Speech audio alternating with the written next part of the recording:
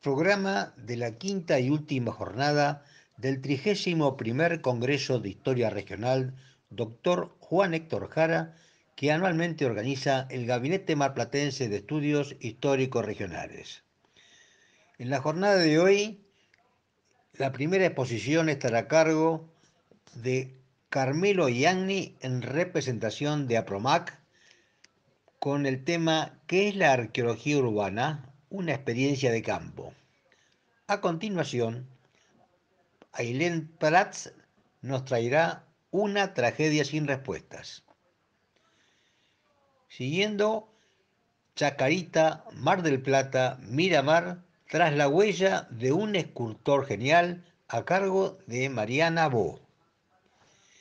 La exposición siguiente estará a cargo de la Biblioteca Juventud Moderna de Mar del Plata, Hombres y Mujeres Libertarios, a cargo de la profesora Marcela Chiquilito, con el tema Actividad Teatral Libertaria en la Biblioteca Popular.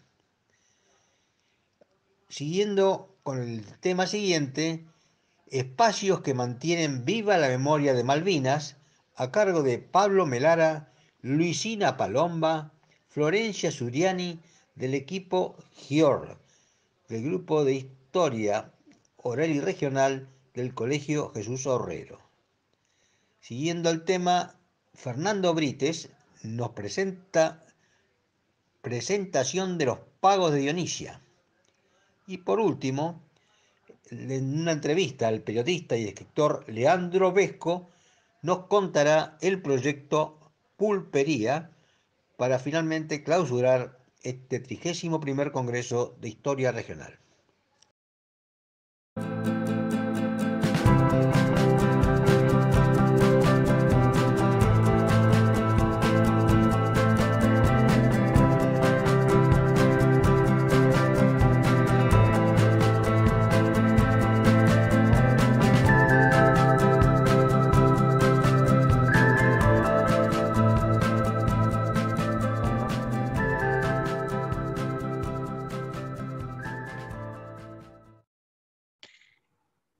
Esta jornada de cierre del último, del trigésimo, perdón, el último día del trigésimo primer Congreso de Historia Regional, doctor Juan Héctor Jara, tenemos el placer de recibir a un amigo que viene desde muy lejos a contarnos qué es APROMAC.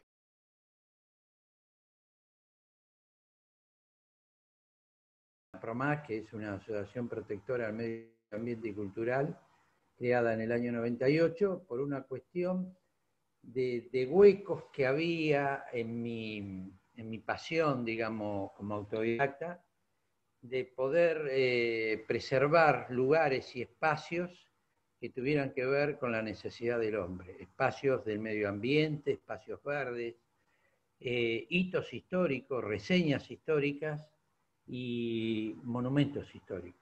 Y investigar globaliza un poco la arqueología, de investigar, de recuperar, de la difusión, el rescate, ¿no? También, y reparar ciertas cosas que quedan sueltas a veces y uno va juntando eslabones y va tejiendo las historias de esta arqueología urbana del Gran Buenos Aires, ¿no? De la capital federal, sobre todo.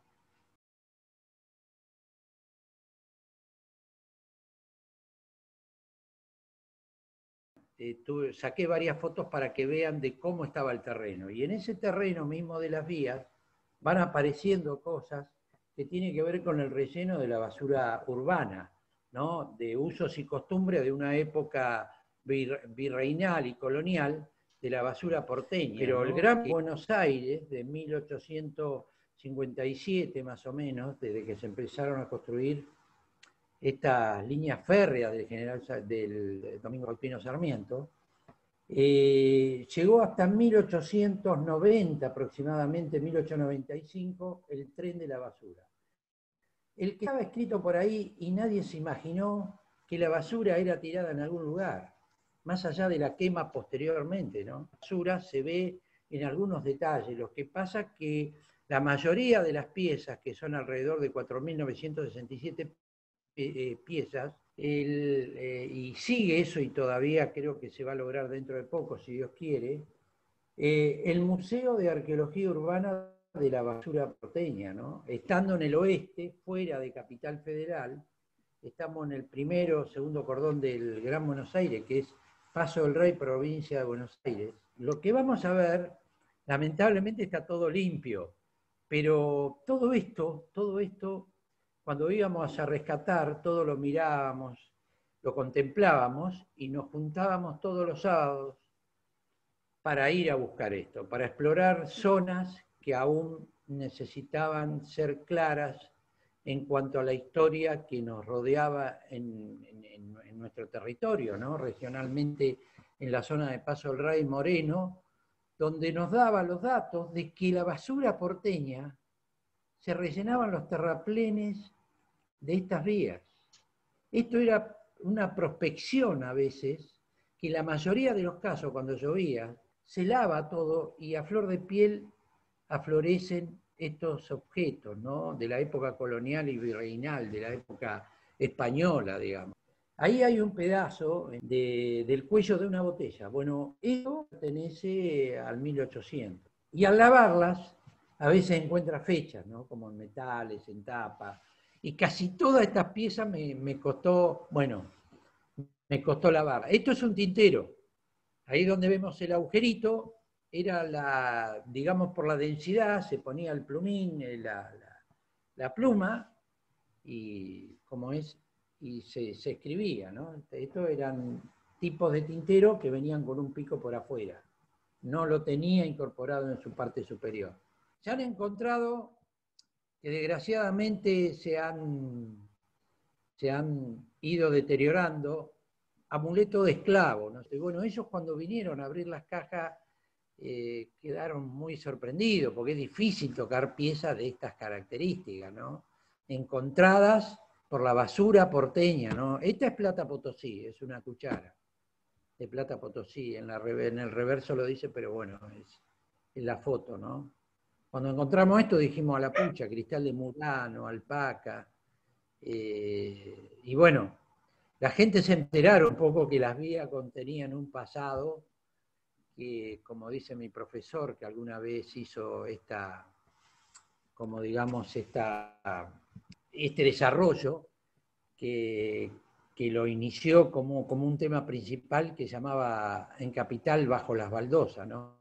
Estos son eh, alpacas, si ustedes ven la punta de la cuchara de arriba, que podían ser de algún boticario, dejé una limpia y una una como la encontramos. Estos son pipas de caolín, muchísimas, con, leyendas de diferentes lugares, que eran esas pipas largas que decían que fomentaban el óseo. ¿no? Bueno, estas son pipas de terracota, son de barro cocido, que llevan una cañita tipo de, digamos, de una planta parecida al choclo, y se fumaba como la pipa de choclo, ¿no?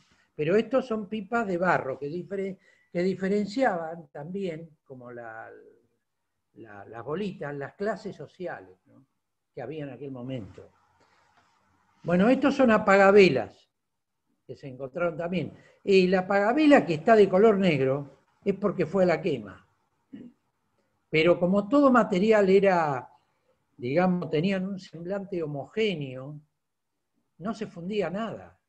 Prácticamente la quema eh, literalmente no lo llegaba a quemar cuando posteriormente pusieron la quema. Y se fue tirando, se fue tirando bastantes años, ¿no? De 1859-57 a 1890, hasta donde llegó el ferrocarril. Estos son cepillos de, dientes de hueso. Y estos son fragmentos de, zócalos, de, azulejos, ¿no? Que, que se han encontrado. Y eso atesoran una época. Estas son, bueno, parte de las muñecas, ¿no? Chiquititos que usaban los niños, imagino, para jugar. Y algunas se ven oscuras porque estuvieron en el fuego también. Y hay brazos, cabezas, piernas, y hay hasta un Jesucristo, ¿no?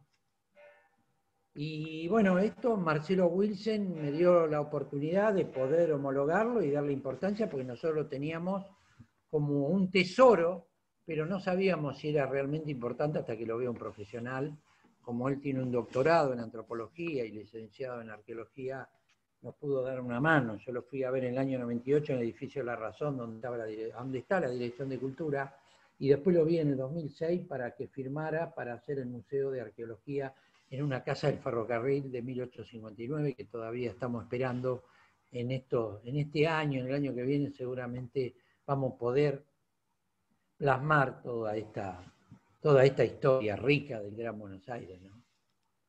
Es, eh, es apasionante. Estos son chicos de los arqueólogos, digamos, historiadores, museólogos, guías, que han venido a trabajar para contabilizar y separar el material. Nosotros teníamos 22 cajas. Y ellos lo que hicieron es profesionalizar la tarea, ¿no? Inventariarlas y homologarlas y llevarla a provincia como corresponde para que esto eh, figure en el inventario.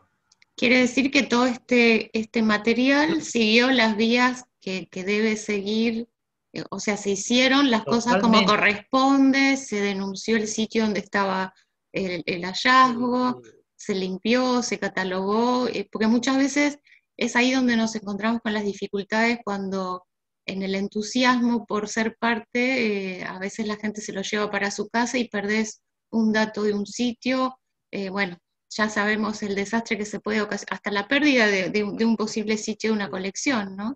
Y bueno, esto estaba todo en bolsa y bueno, acá trabajaron, no sé si 20 personas, 18 personas, al asesoramiento que le pudimos dar nosotros como... Eh, la, verdad que ellos se han sorprendido como yo, porque yo los volví a ver a esto, yo cuando nosotros lo, rotulamos de lo que había, lo habíamos guardado el año 1900, 1998 empezamos esto, hasta el 2004, 2003. Bueno, esto acá encontrarán de todo.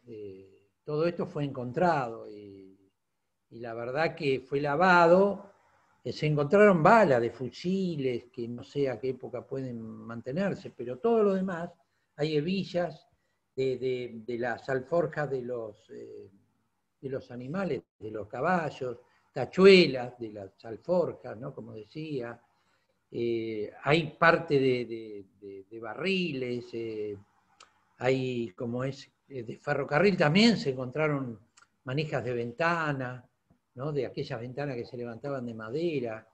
Eh, la verdad que esto replica una, larga historia sobre la basura porteña. Y estos son frascos, frascos de boticarios, frascos de perfumes. Claro, que se ve con lo que decías vos, que el deterioro este, los hace ver como aceitosos, como esmerilados parece que estuvieran. Claro, como un aceite impregnado.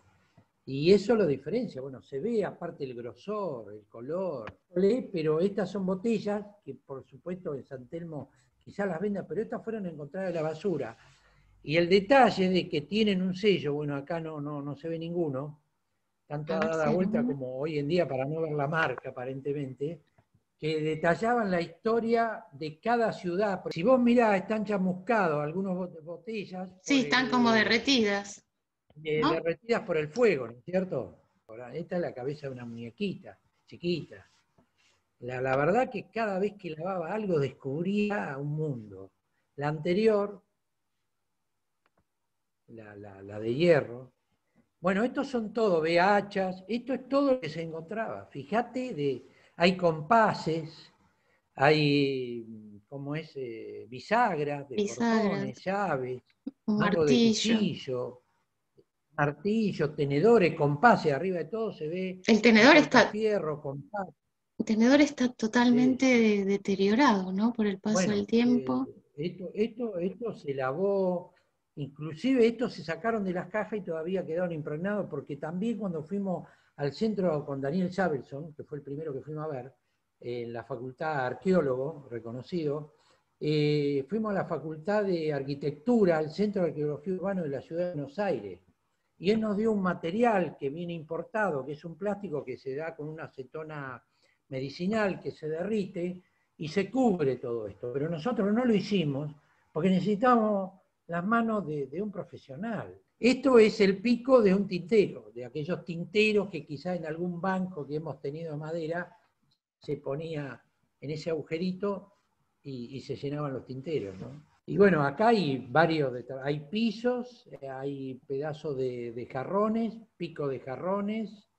Eh, por el lado derecho hay cerámica que son tapas son tapas también de, de, botella, me imagino de, de, es, de cerámica, no, de losa. Acá, el, lado, en el lado izquierdo de la pantalla, se ve lo negro de la quema.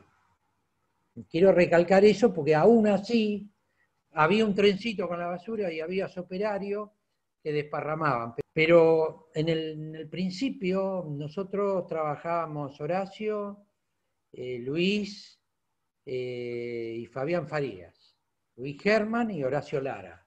Horacio Lara anda por Mar de Ajó.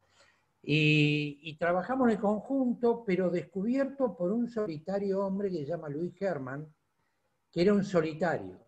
Y él se caminaba solo los lugares eh, y empezó a descubrir esto, empezó a descubrir esto y cuando me lo trajo hacia mis manos, que me trajo una, una botellita, un frasquito con un pedazo de losa, eran tres cosas, me acuerdo, y una parte de pipa.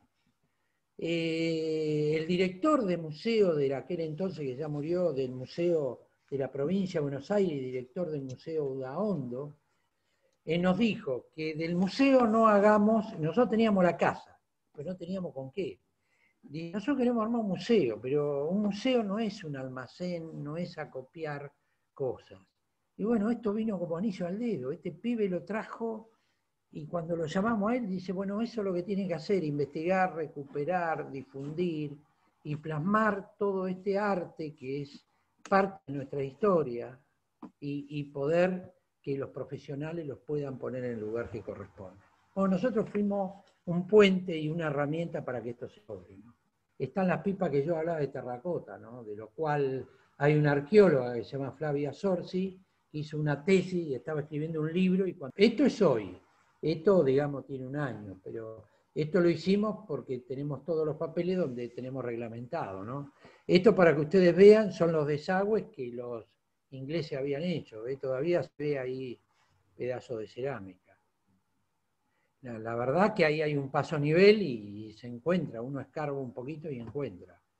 Y a veces que le hayan renovado todo eso, ahí hay, ¿ve? Pedazo de cerámica. Esto es hoy. Esto hoy abre en una zanja y se ve de todo. Y esto volver al ladrillo. Yo te quiero agradecer que nos hayas aportado este, este testimonio eh, que muestra cómo los, los voluntarios cumplen un rol fundamental en la recuperación de la memoria como decíamos antes, siempre y cuando eh, cumplan con los, protocolos de la disciplina, ¿no? Pues, ahora usamos la palabra protocolo para todo, pero vamos a usarla respecto de los protocolos de la disciplina, qué hay que hacer cuando se encuentra una pieza, hay que llamar a los expertos, los expertos tienen que dar en todo caso la autorización para para hacer una excavación y uno puede sumarse a los equipos de trabajo y puede aportar toda la pasión y el compromiso, pero siempre no, eh, esto que marcabas vos, no supervisado por eh, un, alguien este, capacitado en la materia, un arqueólogo en este caso, y agradecer a Promac en la persona de Carmelo Yani, quien nos ha acercado a esta ponencia tan interesante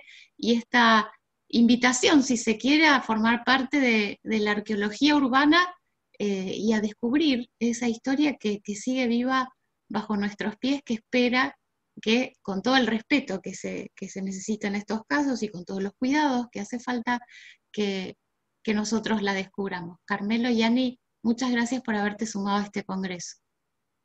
A vos, Mariana, y a todo el equipo que lo acompaña, que de verdad muy agradecido, de parte de APROMA.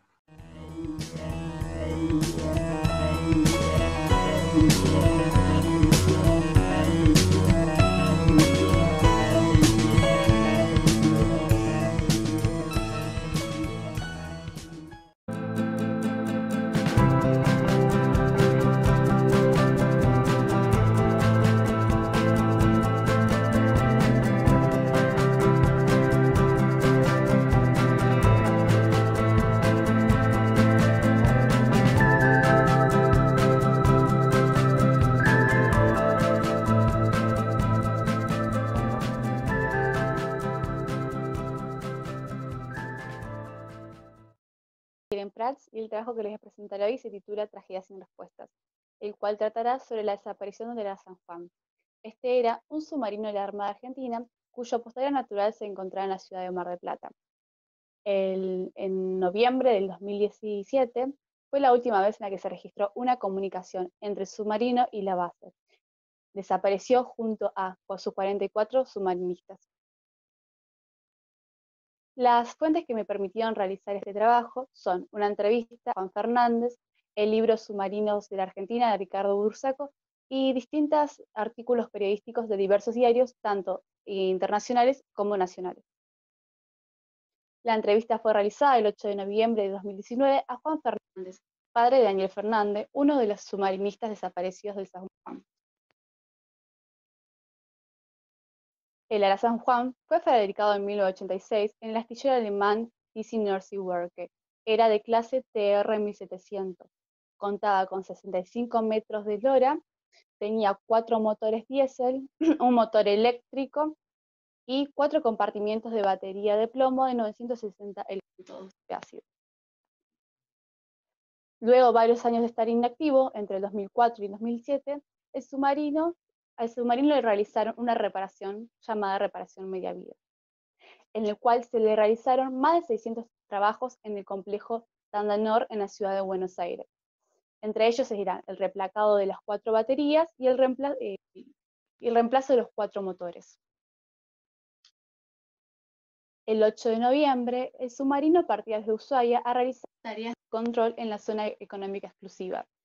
Debía regresar al terminar a su base en la ciudad de Mar del Plata, pero a diferencia de esto, el día 15 de noviembre de 2017 fue su última comunicación con la base. La última comunicación se realizó a la altura de Puerto Madrid, 300 kilómetros mar adentro. Juan nos contaba cómo recuerda el momento en el que se entera que el submarino en el que se encontraba su hijo perdió comunicación. Nosotros estábamos yendo a Punta a un cumbre 15. Llegamos a eso de las 8 de la noche y Pablo me llama. Pablo era el hermano gemelo de Daniel. Me dice, papá, ¿ya estás en tierra? Bueno, te tengo que decir algo. No tenemos noticias sobre el submarino. Al otro día teníamos el cumpleaños, pero Graciela, la mujer de Juan, dijo, no, volvamos. Así que al otro día, a las 6 de la mañana, nos levantamos y volvimos.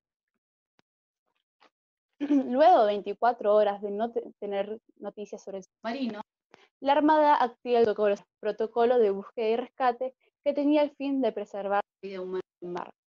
El 20 de noviembre informan desde la Armada, miércoles 15, en el día que desapareció el submarino, ellos habían comunicado una en las baterías. Para esto, Juan nos cuenta que una noche anterior a que ellos partieran, hablando con su hijo por llamada de teléfono, él le comentó que habían tenido un principio de incendio en las baterías. Lo solucionaron y los hicieron eh, partir igual. Para ellos, de igual forma, era algo normal que pasaran estas cosas. El presidente que se encontraba en ese momento, Mauricio Macri, no confiaba plenamente en la capacidad que tenía la Armada Argentina para encontrar su máquina. Por lo tanto, solicitó y aceptó el apoyo de otros países para la búsqueda. En, el, día 22, el día 22 de noviembre, los Estados Unidos una anomalía hidroacústica.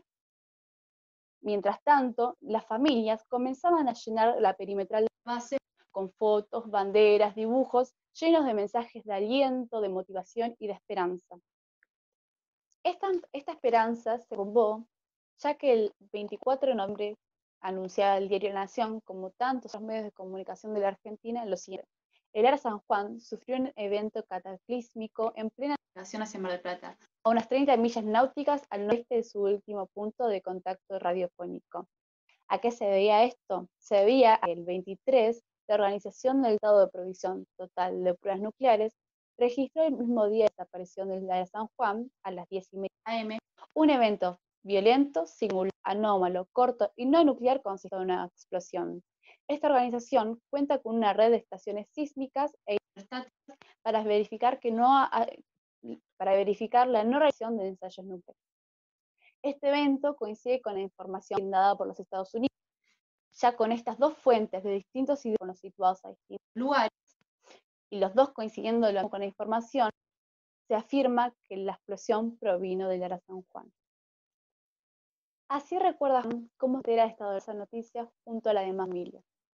Nos tuvieron días ahí, hasta que nos dijeron que había habido una explosión, y ahí se armó un bolón grande, familia llorando, insultando, porque nos habían sentido muchísimo. Nos decían, no, ya están buscando, lo están encontrando, que se ponían en práctica para encontrar el submarino. Nosotros tenemos la idea de que ellos, ellos ya sabían lo que había pasado. Lo que hicieron fue dramatizar más la situación. Para terminar con esta esperanza, el 30 de noviembre, el vocero de, las Fuerzas Armadas, Enrique Valls, el cual constantemente estuvo informando a familias y países de lo que iba sucediendo, dio por finalizado el protocolo. El 14 de noviembre de 2018, a casi un año del de San Juan, la empresa contratada, Ocean Infinite, encuentra los restos del submarino San Juan, San Juan por, mediante un, vehículo de observación remota a 907 metros de profundidad a unos 500 kilómetros del Golfo de San Jorge, en unos escombros de 70 a 65 metros, había dificultado la búsqueda. El ministro de Defensa de, la Nación, Oscar Aguad, sostuvo que el Estado no tiene ni los recursos ni la tecnología para poder.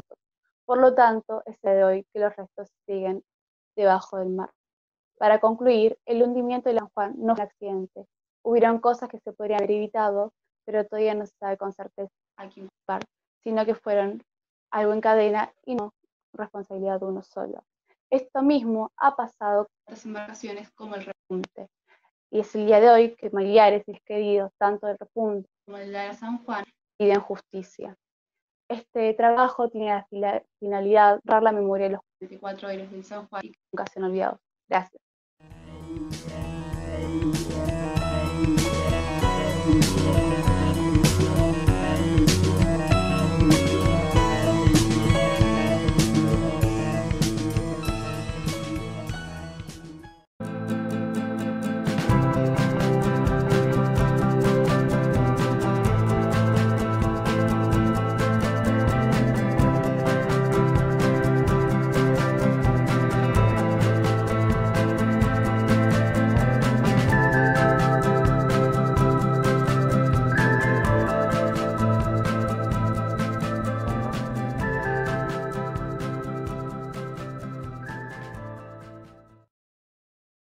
Hola, muy buenas tardes. Mi nombre es María Rabó y es un placer estar nuevamente después de tantos años sin exponer en este 31 Congreso de Historia Regional, doctor Juan Héctor Jara. Eh, realmente ha sido un hermoso desafío poder participar y el Congreso ha sido un lugar que me ha permitido mostrar mis primeros trabajos de investigación mucho antes de que se convirtieran en publicaciones eh, así que tiene un lugar muy especial para mí, en mi corazón, ahí tengo queridísimos amigos. Y después de tantos años sin presentar, el último trabajo que había presentado era acerca de la obra de Pablo Hahnemann, el escultor que legara el, el monumento, uno de los monumentos emblemas de, de la ciudad de Miramar, el monumento a los niños con una reconocida trayectoria internacional. Pero bueno, ese es otro tema de otra investigación. La investigación que nos trae hoy aquí es invitarlos a hacer un viaje en este tiempo de pandemia, aunque sea imaginario, un viaje que va a reunir eh, Chacarita, Mar del Plata y Miramar. Y también vamos a ser guiados por el arte y por todo el símbolo que se eh, refugia en el arte. Así que sin más, vamos a adentrarnos en este planteo virtual que se titula Chacarita, Mar del Plata, Miramar, tras las huellas de un artista genial.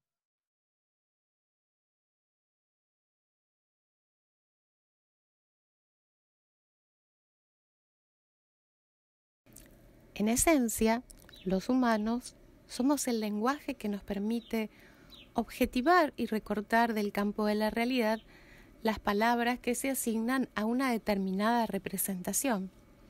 Así todos podemos estar de acuerdo en que una manzana es siempre una manzana, aunque el vocablo cambie según la lengua del hablante. Así, por ejemplo, podemos decir arco y muchos de ustedes van a pensar en esto. Los más osados, tal vez en esto. Pero si yo recorto el campo de significado y digo arco de triunfo, van a pensar en esto. Y estaremos cada vez más cerca de entendernos. ¿Cómo se relaciona esta ponencia con un arco triunfal? El nexo entre todos los componentes de esta charla es un hombre nacido en Mar del Plata un 9 de agosto de 1909, que fue bautizado con el nombre de Manuel Alejandro de Llano y figura en el Salón Nacional desde 1936 y aparece ya en variadas muestras colectivas. En el año 1945, por ejemplo, tuvo a su cargo la organización del primer Salón de Artes Plásticas del Teatro Auditorium.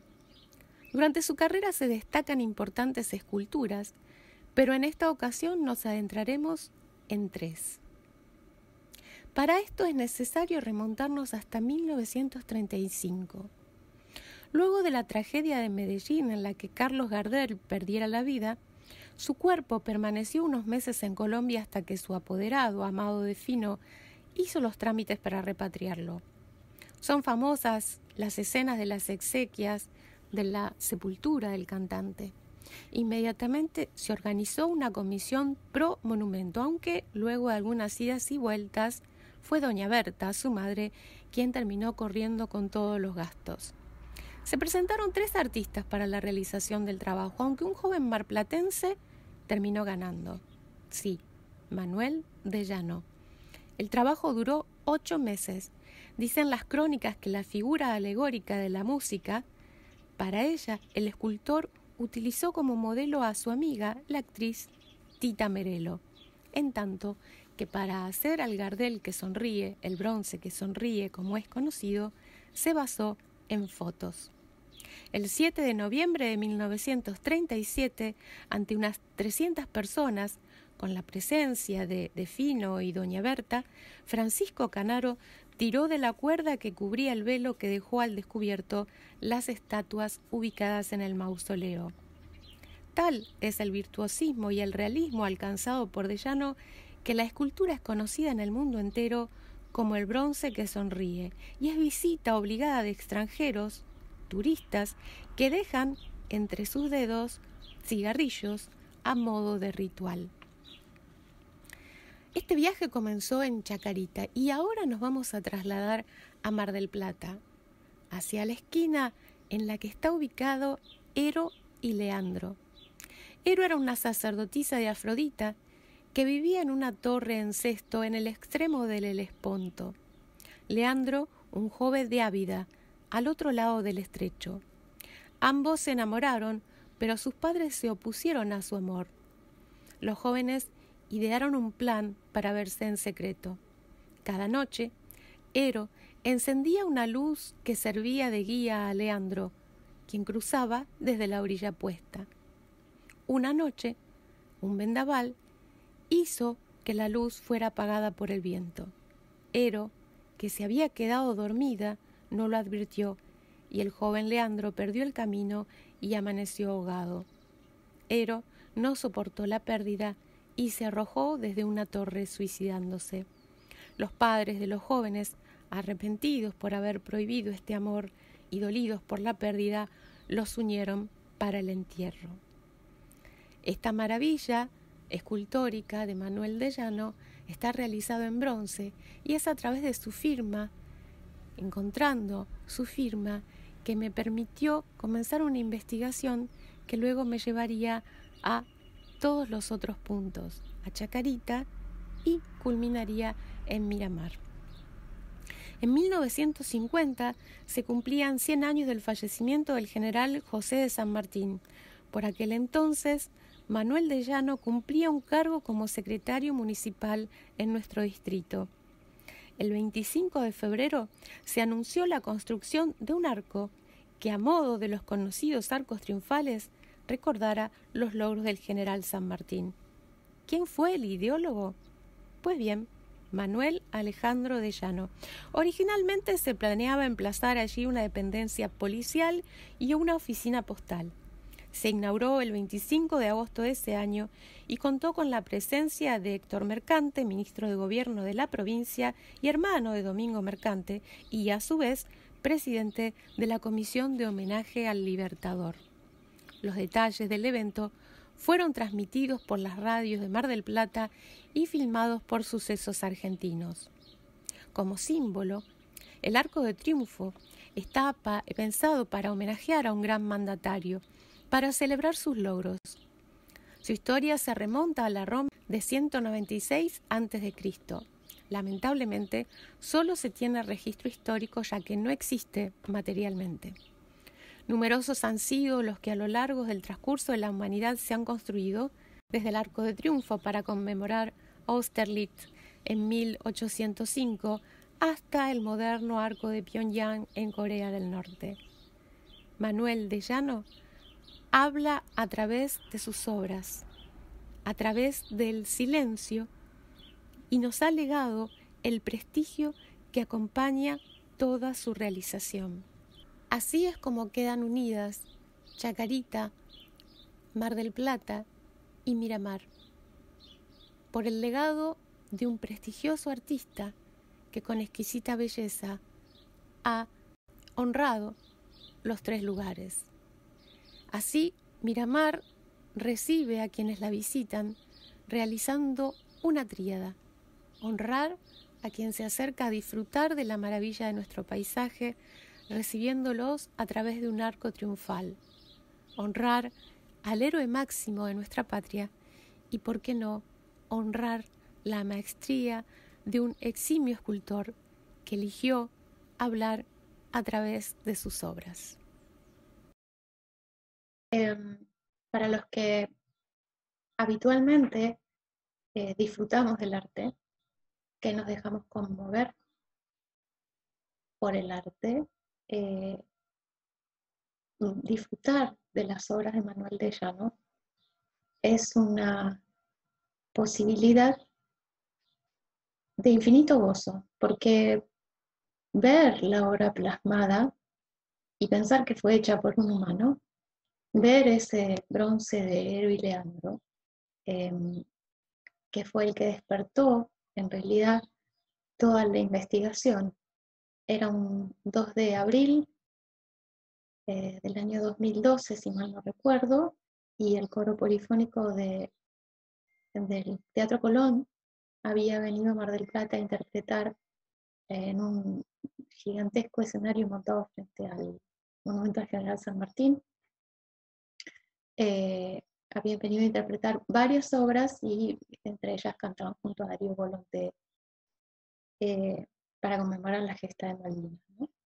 Tenía queridos amigos, así que me acerqué a saludarlos. Y yo que había vivido muchos años en, la calle Mitre, eh, no había visto nunca, no había pasado nunca por esa esquina en la que está el bronce.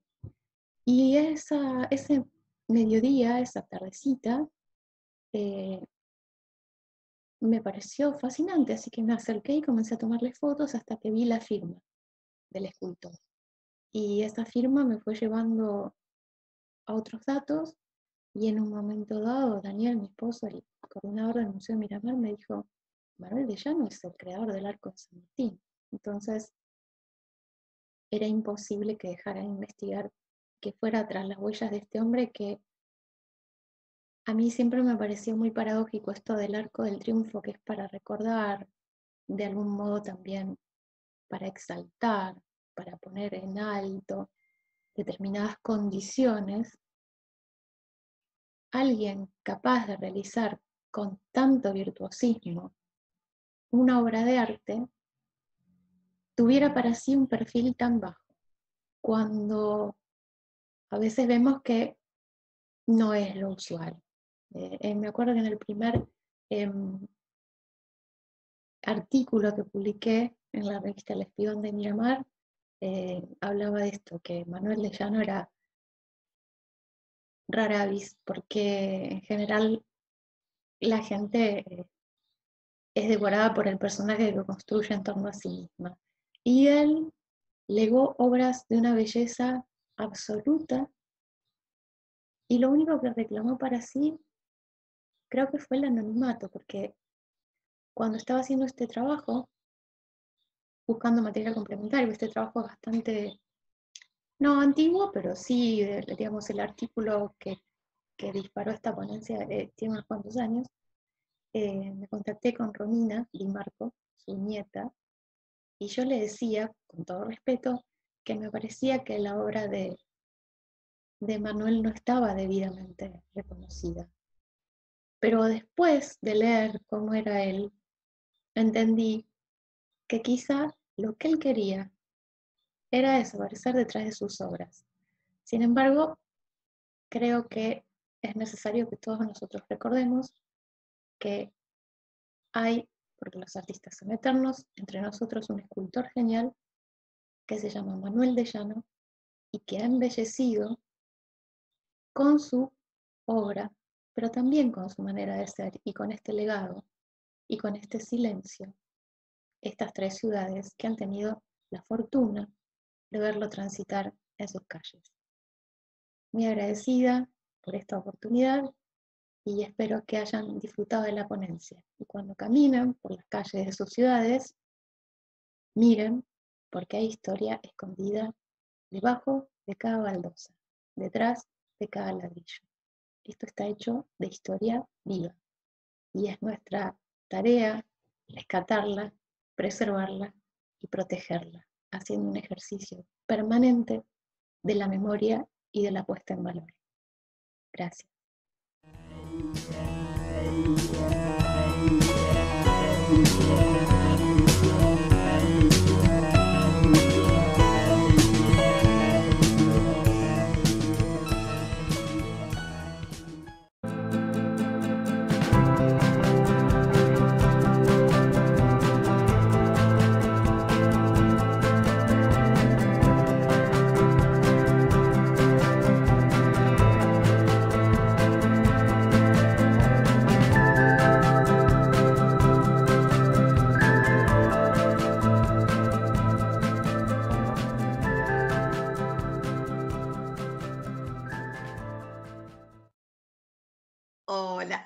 Bueno, mi nombre es Marcela Chiquilito, soy profe de historia y bueno, escribí un trabajo de investigación que tiene que ver sobre los anarquistas en Mar del Plata, una biblioteca anarquista que es la Biblioteca Juventud Moderna, que se encuentra ubicada en las calles Bolívar y la Diagonal Pueyrredón. Es una biblioteca antigua en Mar del Plata porque, bueno, data desde 1911. Y no solamente era una biblioteca, hoy en día si uno ve en Mar del Plata, puede ver que abajo, abajo todo hay salones comerciales, que es de un cementerio privado, pero a comienzos del siglo XX ahí se encontraba la Casa del Pueblo. La Casa del Pueblo era el lugar donde estaban todos los sindicatos y estaban agrupados por distintos gremios. O sea que estaban los sindicatos en esa Casa del Pueblo, estaba la biblioteca y estaba el teatro, ¿no? Em, y mi trabajo consistía en ver por qué le daban tanta importancia al tema del teatro libertario, al tema del teatro anarquista.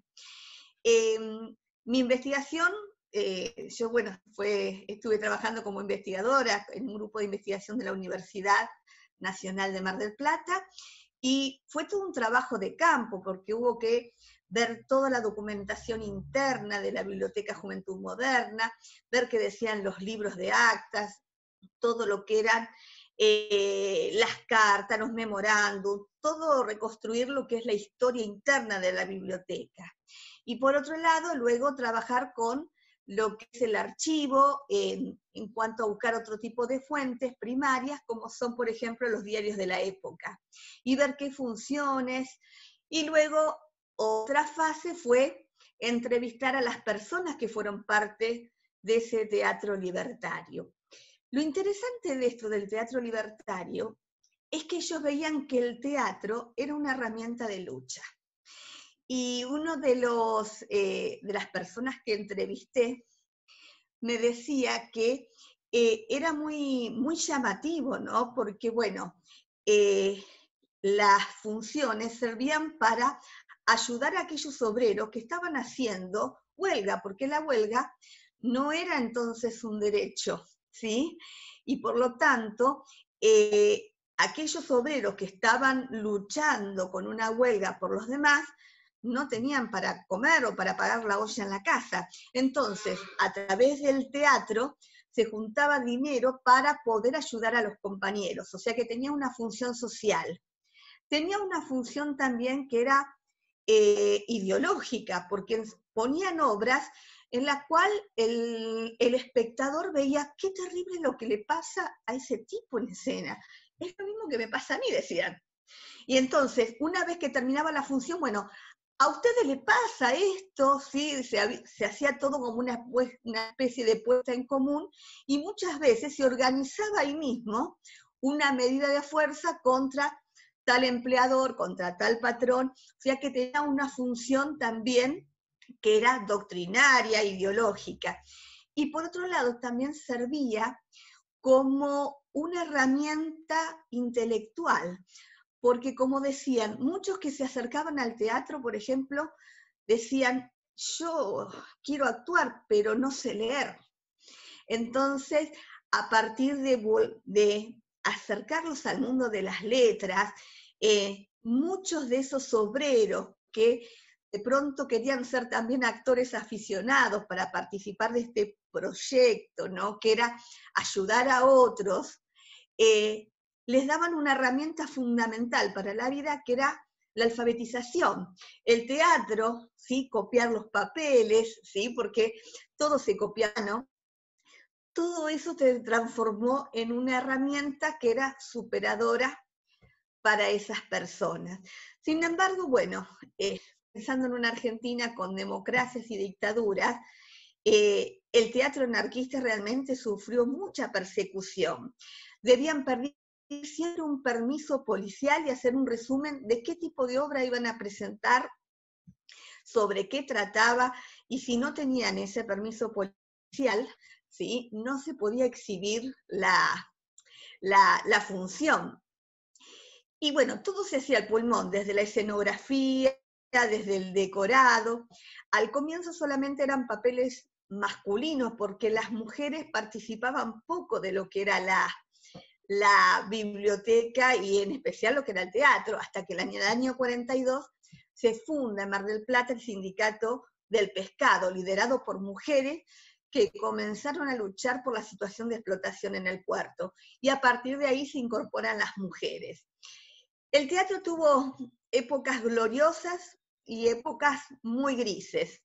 Eh, sufrió incendios, el teatro diagonal, sufrieron persecución, sufrieron cárcel y tienen hasta sus propios desaparecidos, como Gregorio Nachman, ¿no? ya que es la última dictadura militar. Pero bueno, el teatro libertario fue una herramienta que utilizaron desde comienzo del siglo XX los obreros para hacer escuchar su voz y darles a entender, más allá de lo que decían las distintas ideologías, darles un mensaje de lucha a esos trabajadores. Así que bueno, les quería contar un poco sobre esa esquina emblemática de Mar del Plata y sobre una biblioteca Juventud Moderna que sigue luchando y sigue luchando para mantenerse a flote en tiempos difíciles, ¿no? Eh, hoy en día hay una movida de, jóvenes que realmente luchan para sostener ese espacio que es para todos. Así que bueno, eh, espero que les haya interesado conocer un poco más sobre los anarquistas de Mar del Plata.